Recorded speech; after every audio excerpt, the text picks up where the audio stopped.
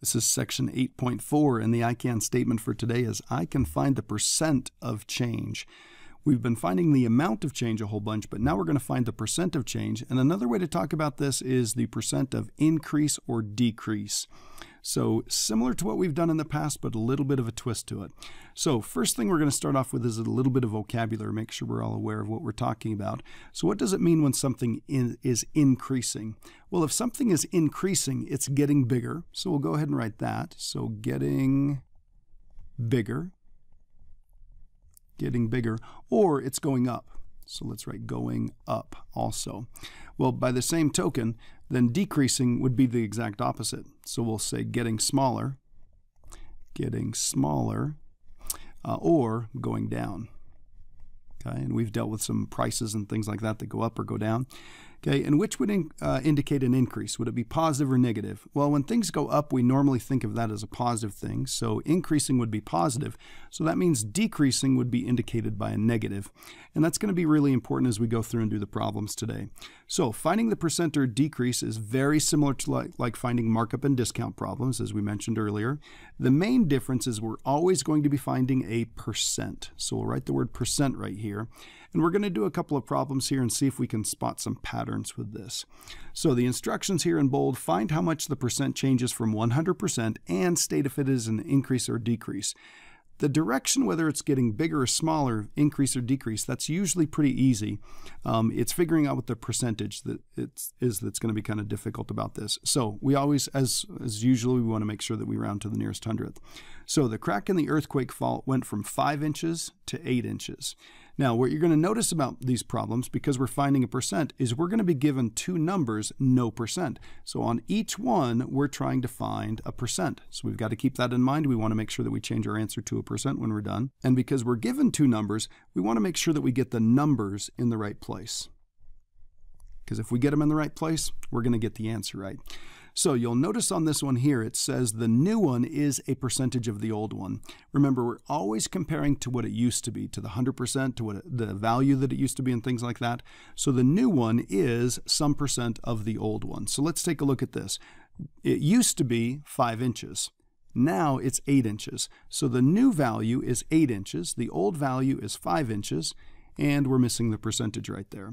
So let's go ahead and set this up. We're going to write this down as 8 is equals some percent times 5, and then we're going to divide both sides by 5. So we're going to cancel those off.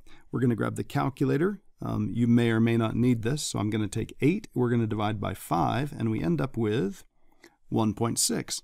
Well, if you've got 1.6 for p, so I'm going to write down p equals 1.6, remember this is a percent. p stands for percent, so we need to move this over one, two places, fill in with a zero. So the answer on this one is 160%. Now, I'm going to put a dotted circle around that because that is not the answer to the actual problem, that's just the answer to the equation. So remember, we're always comparing this to 100%. This is the old one, it represents 100%.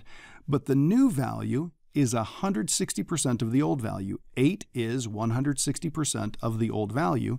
So this is 160% right here. So the question is, how much did it change? If it went from 100 to 160, it must have gone up 60%.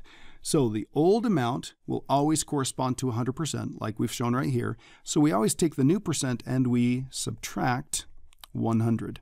So we're going to take that new percent of 160% and we're going to subtract 100% and we end up with 60%.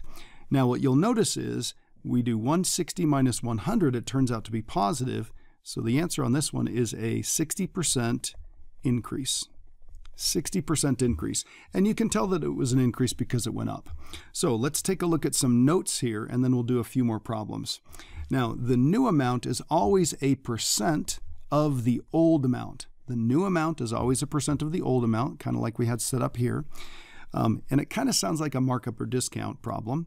Um, and we are always comparing the answers to 100%. So every single time we're going to compare the new answer to 100% of the old answer, or the old amount.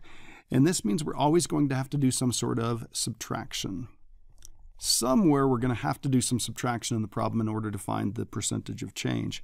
Okay, in this method with what we're going to do, we're going to actually do all the subtracting at the very end, and that's important because the sign of the percent after we subtract will confirm whether it's an increase or decrease. Remember, if it's positive, that's going to be an increase, and if it's negative, that's going to be a decrease. And you can kind of see a theme of that, of that type of indication, positive, negative, increase, decrease, uh, throughout uh, a lot of the math that you're going to study. So let's go ahead and take a look here and see what we can do. It says find out, out how much the percentage changes from 100% and state whether it's an increase or decrease, and again, round appropriately. So let's go ahead and take a look at this. Um, let's see, it changed from 45 quarts to 8 quarts. So it changed from 45 quarts to 8 quarts. So this is the old amount, and 8 quarts is the new, whoops, the new amount. So that new amount is a lot less than the old amount. So this is going to be a decrease, and let's, let's make sure the numbers work out that way. So the new one, 8, is some percent of the old amount, whoops, and that old amount is 45. So I'm going to write 8 equals some percentage of 45. We're going to do the multiplication there. And again, because we're finding the percent, we don't have to worry about decimals yet. So we're going to divide both sides by 45. So we're going to grab the calculator. I'm going to slide it over here just for the time being. So we can do this problem right here. Clear this off. I'm going to do 8 divided by 45, and we end up with 0.1777 just continues going on. Now, there are a couple things that we could do here. We could write down 0.177 and so forth, and then change it to a percent. But if you just take your calculator and hit times by 100, that will move the decimal over two places. So it's 17.777%. Now, we want to round to the nearest hundredth, so it's either going to be 77 or one more than that, 78, and that's 7 right there, and that's third decimal place. That's enough to bump it up to 78. So this is 17.78. So 17.78%. Okay, now that's the new percentage. That's how much is left. So we're always comparing with the old percentage, which is 100. So I'm going to grab the calculator again, and we're going to take 17.78%, or 17.78, and we're going to subtract 100, and we end up with negative 82.22. So this is negative 82.22. Now, this right here, you'll notice that it's negative, so that indicates that it's a decrease. So we're going to write 82.22%, and off to the side, we're going to write that that is a decrease. Now, if you wanted to abbreviate and just write DEC with a period, that would be okay. One thing I want to warn you of is what you don't want to do is you don't want to say that we had a negative 82.22% decrease, because the negative means decrease and decrease means negative. So we're just going to say this is the amount of decrease. All right, let's take a look at the next problem. It changed from 457 to 1,000. So this is the old one and this is the new one. So the new one, 1,000, is some percent of the old one, 457. So we're going to do 1,000 equals some percent of 457. These are going to be interesting numbers. Glad we've got a calculator here. Oops, 457. Those are going to cancel, so we get P equals. We'll grab that calculator, slide it over just a little bit so we can see what's going on. Clear this off. We'll do 1,000 divided by 457. Let's see what we get. Okay, so we get uh, 2.188 and so forth. Again, I kind of like uh, to be able to see this, I like multiplying that by 100. Let's move the decimal over there. Now, if you don't have to do that, if you can kind of visualize what's going on, that's totally okay. So this is going to be 218% and a little bit more. So it's 218.818 so it's either going to be 81 or 82, and we look at this uh, digit right here, that third decimal place, that's enough to bump that up to 82. So um, let me just go ahead and write this down, what we had before. So 2.18818.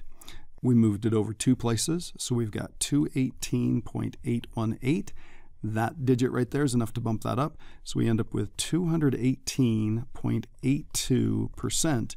But remember, it didn't go up 218% because we have to subtract off that original amount that we already had. So we're going to subtract 100 and we get 118.82%.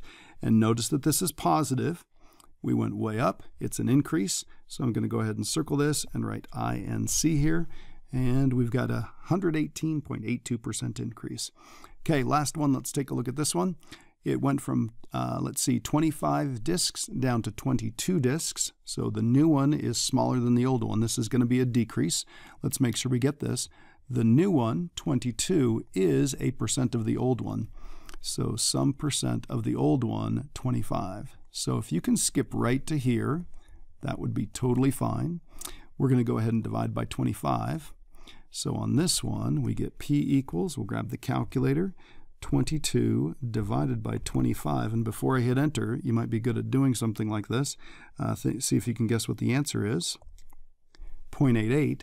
Move that decimal over two places, so this is 88%. So remember, this is the new percent, but it used to be 100%, so we want to figure out how much it changed. You might know exactly what it is already, so we're going to do, whoops, we're going to do 88% minus 100%, and we end up with minus 12. So this is negative 12%. So we're going to say that this is a 12% decrease. Again, we knew because it went down it was a decrease, just like on part B, we knew that it was an increase because it went up, but it kind of bears out in the numbers. Notice that we end up with a positive answer here, so it's an increase, a negative answer here, so it's a decrease. Again, please don't put negative 12% decrease. Decrease takes care of the negative. So go ahead and circle how you feel about this right now, and good luck on the assignment.